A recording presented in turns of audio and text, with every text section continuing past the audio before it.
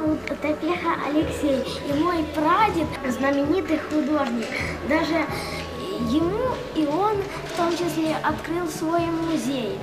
Там его картины, но очень мало картин, потому что особо все позабирали просто люди, которым их он как бы дарил, там такое продавал. Да? Да, половец Федор.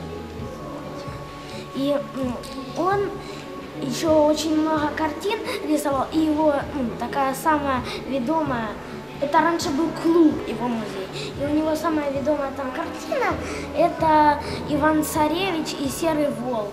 У него там она большая, очень, почти на всю стену.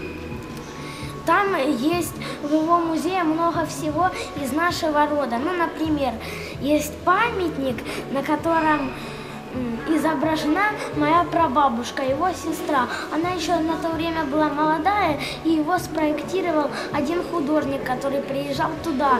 И другие люди сделали памятник, и там она как бы плачет за теми ну, людьми, которые воевали и старый ППШ, и пулеметы, что-то такое, что мой, мой дядя туда их относил, потому что он их э, копает, ну там, относил их туда, они там... Он археолог. Да. и у меня, кстати, очень много... всегда- Археологических находок, Да, да? много монет, я, кстати, собираю монеты, и... Нумизмат ты, да? Да, и вот я еще нарисовал князя Владимира.